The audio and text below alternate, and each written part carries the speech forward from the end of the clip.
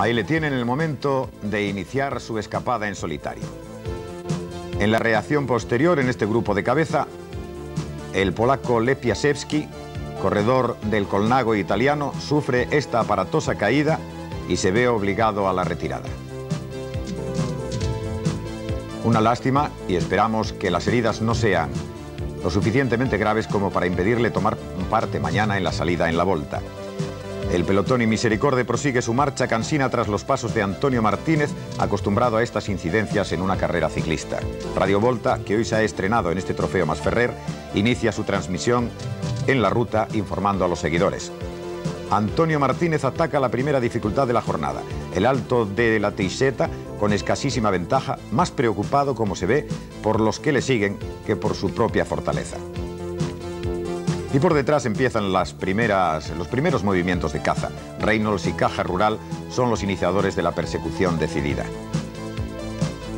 La diferencia obviamente empieza a decrecer segundo tras segundo.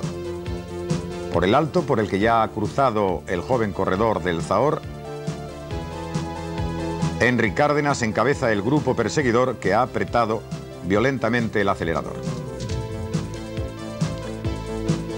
Y parece que en el descenso Antonio Martínez va a ser alcanzado. Pero vean ustedes, cuando están a la vista ya sus perseguidores, reacciona muy bien y vuelve a separarse pedaleando con un pundonor realmente encomiable. De nuevo el grupo relantiza su marcha. Cuando nos acercamos al kilómetro 82, meta volante de Falset, donde Antonio Martínez logra más de medio minuto de ventaja. Más de hora y media de carrera, desarrollada bajo un calor intensamente canicular que obliga a algunos retirados, algunas retiradas como la de Iñaki Gastón, que explica desde el coche auxiliar a su director deportivo las causas de su baja. Dos minutos es la ventaja que logra alcanzar el pupilo de Miguel Moreno sobre un pelotón que por el momento no parece demasiado preocupado. Cerca de Masroch, kilómetro 85, se halla situada la zona de habituallamiento que habitualmente es como una especie de clarín de guerra para el pelotón cuando hay algún corredor en fuga. Porque las fuerzas repuestas parecen asomarse de aquí en adelante a los pedales. Mientras, ya alimentado, Antonio Martínez sigue indesmayable en su intento de adjudicarse la victoria. Se acerca a Mora la Nova, donde va a alcanzar su máxima diferencia en el cronómetro. Dos minutos 44 segundos, según le enseña la pizarra, sobre un pelotón en el que ya, a falta de 58 kilómetros para la llegada, la inquietud ha hecho presa de los equipos con los hombres rápidos en sus filas. Su aventura está cerca ya de la conclusión. El pelotón se estira, se fracciona en grupos que imprimen una mayor velocidad a la carrera.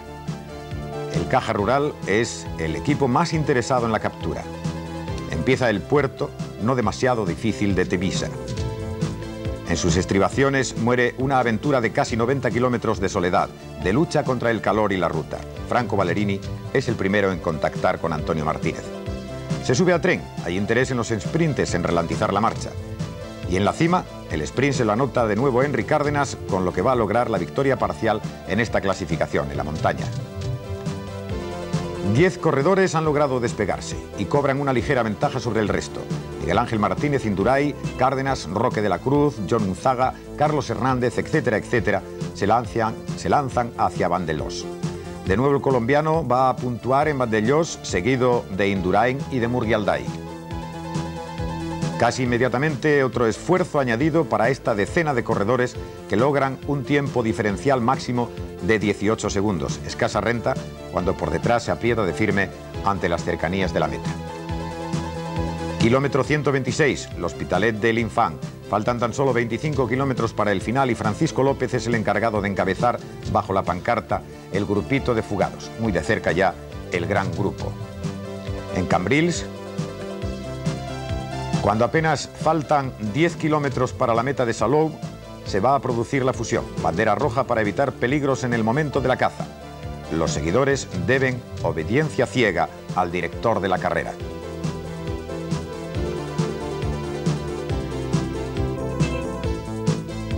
Este es el grupo de escapados y a menos ya de 5 segundos se encuentra el gran pelotón. como siempre y por delante, obligando a bajar la marcha para dar tiempo a la llegada de Matthew Hermans, los hombres del Grupo Deportivo Caja Rural. Se empiezan a tomar posiciones con vistas a un más que previsible sprint masivo. Caja Rural, insistimos, domina la carrera sin demasiados problemas y en cada intento de fuga que se produce hasta la llegada siempre hay uno o dos corredores del equipo vasco de Chomi Perurena. Se entra en Salou a ritmo más que rápido y en la meta se espera la llegada en grupo que se produce efectivamente. Pero enseguida se destacan tres hombres. Miguel Ángel Iglesias es el primero en demarrar, tras él Antonio Esparza, pero Mateo Germans se impone a los dos. En la repetición de la llegada, a cámara lenta observamos cómo sale desde atrás Mateo Germans, que había cogido la rueda del hombre de Vals, Miguel Ángel Iglesias, muy interesado en ganar en su tierra, y con su pedalada potente se impone a su compañero de equipo Antonio Esparza, siendo tercero el catalán Miguel Ángel Iglesias. Y después los premios. La selección catalana de aficionados tomó parte en la carrera y cumplió con gran dignidad. El mejor ha sido el joven promesa Joan Reina, que recibe el trofeo correspondiente. Le sucede en el podio el holandés Mateo Hermans, que a su vez sucede en el cuadro de honor del trofeo Masferrer a Roberto Córdoba, último vencedor. Es la victoria parcial número 23 del espléndido sprinter del Caja Rural que redondea una magnífica temporada. Bien, yo creo que prácticamente, Mateo, durante toda la etapa tus compañeros han trabajado con la vista puesta exclusivamente en esta victoria tuya en el Trofeo Masferrer, que me parece que hace la 23 victoria este año, ¿no? Sí, son 23. claro, antes de la carrera hemos hablado que cuando paso los puestos, que luego tengo muchas posibilidades. Y al final había muchos ataques y, claro, por los compañeros hemos intentado mantener todo compacto y cuando empalmamos un grupo de escapados, luego tirar en cabeza, que no luego baja eh, los kilómetros por hora, que no hay tantos ataques. Eso ha sido bastante bien. Y a un, kilómetro de meta ha atacado un colombiano en los calles atrás. Y yo justo, justo podía empomar.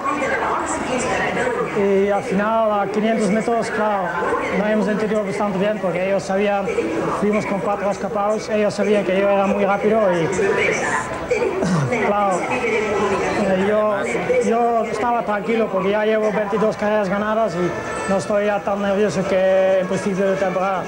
Iglesias ha arrancado muy lejos, pero eso ha ido muy bien para mí, ¿no? Yo cogí de su vera y luego he remontado. Y además cubriéndote las espaldas un compañero de equipo, Antonio Esparza. Sí, no sé qué ha pasado.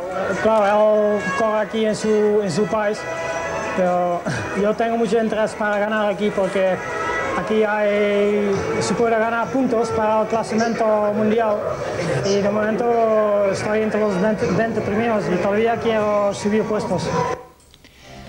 Y vamos a repasar ahora en las clasificaciones parciales. En metas volantes el primero ha sido Antonio Martínez. El primero en sprints especiales, Francisco López. Y el premio de la montaña se lo ha adjudicado el corredor colombiano del Café de Colombia, Henry Cárdenas.